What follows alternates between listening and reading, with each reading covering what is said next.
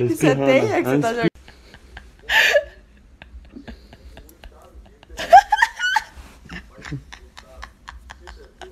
Sai, sai. Ai, amor, eu te amo. Ei, vem aqui. Eu vou dormir aqui em cima de você, só Pode, pra você ver. tá bom. Boa noite. Boa noite. Beijo. Tchau. Te amo. Também te amo muito. Apaga a luz. Não, é você. Não é você, sério. O que que foi? Eu tô rindo de te encher o saco. Eu tô com um dentinho de plástico. Que dentinho de plástico? Que dentinho? O truque pra, pra se desfazer das camisetas, velha, do boy. Dorme com elas. É as roupas da série. As camisetas dele do Sonic, aí eu durmo sobre série. Apaga a luz. Nossa, olha, você tá dormindo de approve. Você tá dormindo de approve. Atacado, Eu vi a etiqueta. Todo mundo da prova. Você não tem vergonha na cara? Que tava na promoção, acesse o site. Ô, gente, semana do meu aniversário. Era pra eu estar muito mais animada. Eu não sei o que está acontecendo. Tipo, não sei. Eu sempre fico muito animada pro meu aniversário. Organizo festa, faço um trilhão de coisas e agora eu tô assim.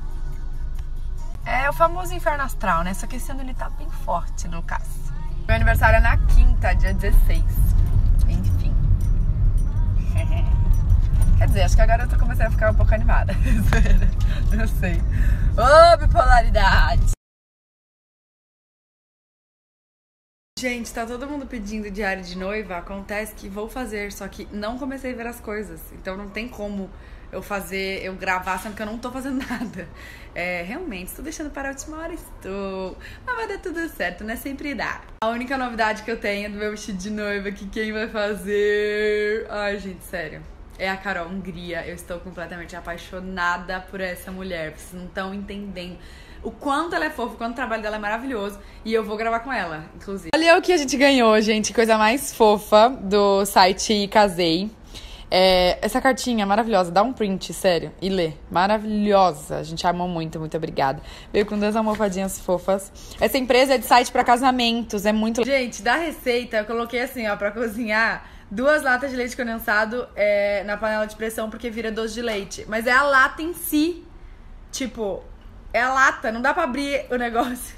Como que você vai. Ai, gente, acabei de receber. Acabei de receber um direct dizendo que, que ele colocou o leite condensado puro na panela de pressão por 20 minutos e queimou tudo. É lógico que ia queimar tudo.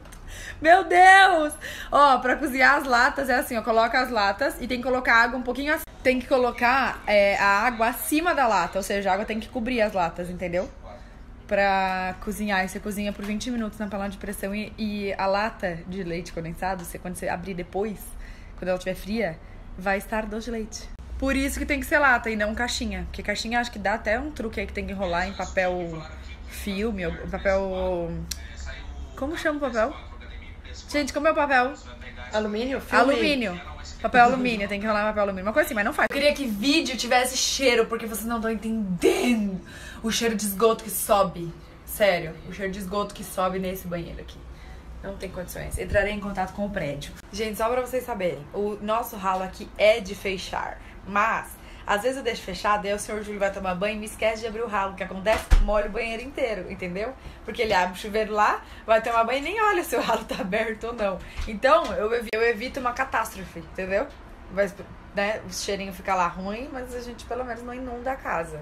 E. Enfim, é, é- mas é muito forte. Eu não sei explicar. Não era normal isso. Mesmo que venha cheiro, eu não quero que venha esse cheiro. Já coloquei água sanitária, já coloquei um trilhão, um trilhão de produtos, já coloquei tudo que vocês possam imaginar. E não adianta.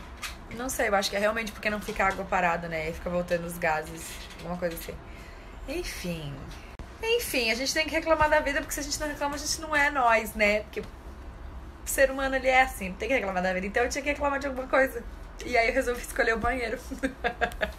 E sobre as latas de leite condensado. Gente, eu não sou especialista, eu só fiz um bolo aqui em casa, me pediram a receita, eu passei. Não faço ideia. Cara, antes de fazer alguma coisa, pergunta pra mãe, pra avó, pro pai, pra tia. Elas devem saber como cozinha uma lata.